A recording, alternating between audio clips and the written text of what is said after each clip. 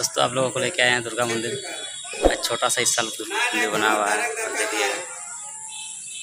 अभी तो भीड़ नहीं है, कल से भीड़ होगा।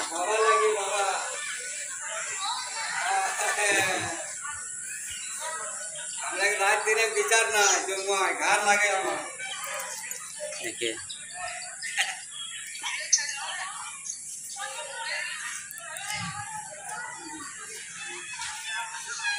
बाहर खाली नज़र आ रहा है। और कुछ है नहीं। इसलिए आज कल आप लोगों को दिखाएँगे किस तरह से भीड़ लगता है। ठीक है दोस्तों ये वहाँ से इस तरह दिख रहा है।